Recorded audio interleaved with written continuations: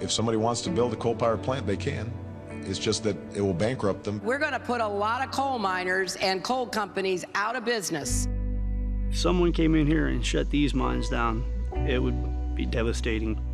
I'm worried about it every single day. Ted Strickland siding with Hillary Clinton, it's a slap to the face. They want to put us good working, hard working coal miners out of jobs. Ted Strickland has turned his back on us. Like a turncoat, he sided with Barack and Hillary when he went to Washington. I had a job last year that was a dream job, paid me more money than I've ever made in my life.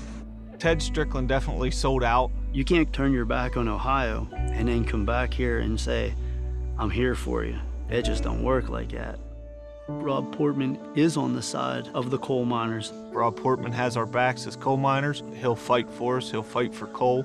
I'll definitely be voting for Rob Portman. I'm Rob Portman, and I approve this message.